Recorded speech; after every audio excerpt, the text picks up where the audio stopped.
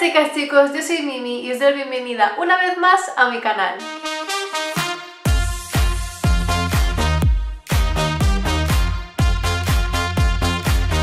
La semana pasada os hice un vídeo de cuáles eran mis marcas low cost favoritas, pero dándole una vuelta al canal me he dado cuenta de que hace como 3 o 4 meses que no hago un vídeo de favoritos en general. Así que como ha pasado ya tanto tiempo me ha apetecido ya un poco reunir cuáles son las cosas que más me han gustado o más me han obsesionado en estos últimos meses. He seleccionado un poco de todo, hay maquillaje, complementos, hay una serie, así que no me rollo más y vamos a empezar. Lo primero que os voy a enseñar me sorprende a mí misma que se haya convertido en un imprescindible para mí y es que son unas gafas de sol y yo hacía años que no usaba gafas de sol. Son estas gafas de la firma Moods, Moods, Mm.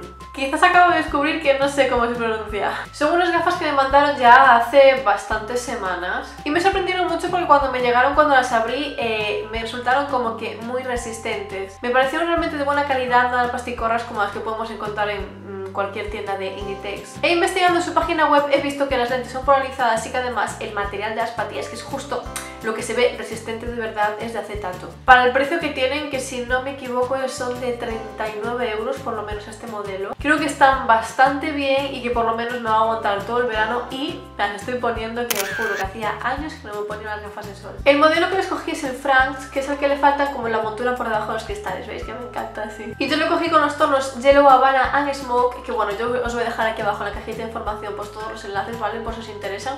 Pero bueno, no me ha gustado mucho. Aunque una cosa que sí que tengo que decir que no me ha gustado mucho y es que la bolsita, ¿vale? En la que viene para transportar es esta de aquí que sí, se ve de buen material y eso, pero yo hubiera preferido como que una cajita, ¿vale? Para guardarlos, pero bueno, sin más. Lo siguiente que os quiero enseñar son unas sandalias de plataforma que eh, me tenían obsesionadísima y por fin me las he comprado. Y son estas sandalias de Pull&Bear. Ahora mismo están de rebajas, pero bueno, hay mogollón de, modelos parecidos, van así atados al tobillo, hace como de polipiel, pero esto no es polipiel para nada. Y me encantan porque la suela es prácticamente igual de alta en el tacón que en la parte de delante. Entonces realmente tú cuando te subes a ellas no notas una diferencia de estatura muy alta, entonces hacen muy cómodas para caminar. Me parecen de verdad súper, súper, súper bonitas. Me las he puesto ya un montón de veces y creo que quedan genial. Pues por ejemplo con un pitillo con una camisa o con un mono o con un vestido así más rollo bicenco. Me encantan. Realmente este modelo así en plan bloque lo hay en muchas tiendas, pero bueno, estas de Pool también las había en color como coral, pero sabes que yo soy más básica para los colores y tal. Y bueno, eso, este es mi, mi favorito de ropa. Ahora, antes de pasar al maquillaje, quiero enseñaros un gel que me deis, Mimi, ¿en serio un gel? Pues sí, y es que estoy súper obsesionada con este gel de Trits, que es un gel en espuma y es una pasada. Trits yo la compro maquillada y tiene mogollón de firmas en función de los olores o las sensaciones que quiera transmitir, y esta que es de rosa, es una pasada porque si lo oléis, a mí me evoca un olor, bueno, evidentemente muy floral, rosa totalmente, pero como un olor muy sensual, muy femenino. Nada, tenéis que echaros en la ducha una gota, solamente una gota, porque de repente se empieza como a multiplicar la espuma, es una pasada. La sensación es súper agradable y queda la piel como muy hidratada, el perfume realmente perdura mogollón en la piel, el baño se queda oliendo que es la hostia y en serio, me encanta. Imagino que sea algo así como una imitación o un quiero pero no de las de Ritual, solo que esta no sé si me costó como 6 euros, 7 y las de Ritual creo que te vas a 20 euros y me parece una estafa, así que de momento tengo que decir que si queréis probar una espuma de baño, estas están genial. Ahora pasando a maquillaje tengo que decir que este mes he dado bastante caña sobre todo a dos labiales. Por un lado estaría el Dragon Girl de NARS, que aunque no me parezca está ya muy afilado. Está mucho más afilado de lo que debería para el tan poco tiempo que tiene. Y este rojo que seguro que todos lo conoceréis es un rojo sangre pero con un punto frambuesa algo precioso que ya no solamente queda maravilloso en los labios, o sea, está acabado mate, pero queda como súper cómodo de llevar, nada seco, nada cuarteado en los labios, aguanta muchísimo, puedes beber, puedes comer con él, Buah, queda Realmente me encanta y es uno de los pocos labiales que tengo, todos los pintalabios que tengo, diría que si se me acaba me lo volvería a comprar. Y el otro labial del que os quiero hablar realmente a mí me sorprende que me haya gustado y es que ha sido un regalo y es un Amplified de MAC y es el Show Orchid. En general, a ver, yo este labio para empezar no lo conocía porque nunca me fijo en los Amplified, los Frozen, yo voy directamente a los mate o a los retromate y me ha encantado. La idea que yo tenía de los Amplified era como de que eran tan cremosos porque se escurrían un poco por el labio o que no se quedaban muy fijos ni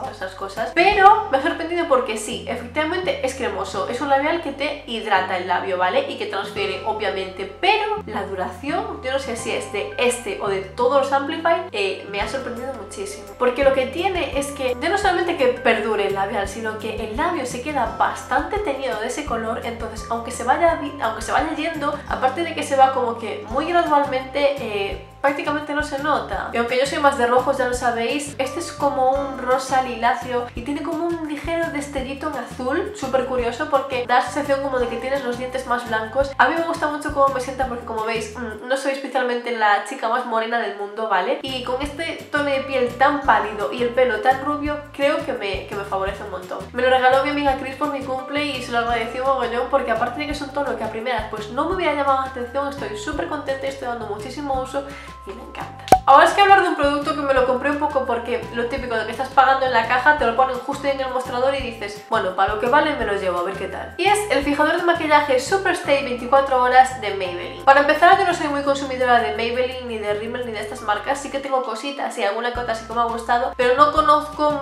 ni he probado muchas cosas de estas marcas. Y me llamó la atención porque es un fijador de maquillaje de larga duración, bueno, libre de aceites, en spray, que prolonga eh, la duración de maquillaje, bueno, que me llamó la atención. Mi fijador de maquillaje favorito es el Fix Plus de, de MAC, pero claro, es muy caro. Y yo no sé hasta qué punto fija de verdad o creemos que fija. Entonces se me terminó y estaba así un poquito reacia a volver a comprármelo. Y todos los fijadores que he probado, pues de marcas low cost o más baratos, a mí la sensación que me dan en la piel es como de usar laca. ¿Vale? Como de que te lo rocías y te deja como una capa pegajosa en la piel que a mí no me gusta nada. Y había renegado ya un poco de comprarme fijadores de maquillaje mm, baratos porque no me salía ninguno bueno, pero sin embargo este me ha encantado. Lo tienes que agitar pulverizarlo yo que sé más o menos 30 centímetros de distancia. Se pulveriza muy finito, muy suavito y cuando se cae sobre la piel notas más una frescura tipo agua termal, ¿vale? Que la piel lo absorbe y no queda nada tirante y sobre todo nada pegajoso. Y yo que tengo la piel mixta grasa sí que puedo decir que cuando lo utilizo tengo que tardar más tiempo en uh, retocar con polvos. Entonces creo que me costó 6 o 7 euros. La sensación es buena, es fácil de aplicar, funciona bien muy recomendado. y os quiero hablar también de una cosa por la que me preguntáis muy a menudo en los vídeos y que me extraña un montón. Y es que normalmente me preguntáis por mis uñas, que cómo me las cuido, cómo me las pinto y tal. Eh... Necesitáis saber que cuando yo me pinto las uñas me salgo por fuera porque tengo cero habilidad para pintármelas y luego en la ducha me lo quito. O sea, ese es mi gran secreto de las uñas, ¿vale? Pero sin embargo os gustan y estáis preguntando qué esmalte llevo y tal, así que os quiero enseñar el esmalte que llevo hoy que es mi rojo favorito actualmente. Es el tono Forever Yummy de, de Essie y esto ya creo que ya os lo he dicho alguna otra vez, pero yo últimamente, aunque yo tengo la uña buena, por así decirlo, decir, no me suda demasiado, entonces los esmaltes me aguantan muy bien, no se me descascarillan y prácticamente cualquier esmalte funciona bien. Sí que os digo que si queréis invertir en unos esmaltes que sean buenos y que os aguanten, pues yo que sé, 5 o 7 días, invertáis en los de Essie porque son un pelín más caros, sí que merecen la pena. Para mí Forever Yummy es un rojo básico, un rojo elegante, un rojo que vale tanto para el día como para la noche, un rojo que vale para cualquier estación y me encanta, o sea, es mi rojo mmm, favorito actualmente. Y os quiero enseñar algo que me tiene pero muy obsesionada, o sea, creo que me van a acabar echando de esta casa como siga comprando de estas cosas. Y son este tipo de tazas barra botes barra vasos con pajita, ¿vale? Que, eh, que tengo 80.000. Y este es uno de los últimos que me he comprado, está en Primark, ahora mismo lo tenéis en tiendas si lo queréis. Eh, me encanta. Yo soy una persona que le da muchísima pereza beber agua o beber cualquier cosa, ¿vale? Entonces a mí es como que me motiva, ¿vale? Lo veo así cuco. Y el tema de la pajita, lo de la pajita sí que me ayuda como que me mmm, alienta, ¿vale? Si lleva pajita como que bebo más. Y me encanta, yo aquí me bebo zumo, té, agua con hielo, sin más, incluso café, ¿vale? Si me vengo arriba pues pongo un café. Me encantan y esta en sí pues me gusta muchísimo. Creo que me costó 3.50 o 4 euros, así que si os gusta y también sois como yo perezosas o no sois, pero os encantan este tipo de chorradas, ahora mismo lo tenéis en tienda. Y ahora por último os quiero hablar de una serie que a ver, es que he estado de parón en el canal, ¿vale? Pues en este mes y medio de parón que he estado, tiene dos temporadas la serie y me la comí en una semana o dos. Esta serie es Jane the Virgin y dejadme que os haga un pequeñito spoiler del argumento para pues deciros un poco de qué va. Es que es muy difícil mm, recomendarosla sin hacer ningún spoiler. Pero básicamente Jane es una chica súper joven de 22, 23 años que está eh, comprometida con su novio con el que lleva pues dos años o cosas así, pero tiene sus creencias religiosas, sus creencias que su familia pues le han inculcado y eh, tiene la conciencia de ser virgen hasta el matrimonio. De ahí lo de Jane the Virgin. Y lo que pasa es que va a la ginecóloga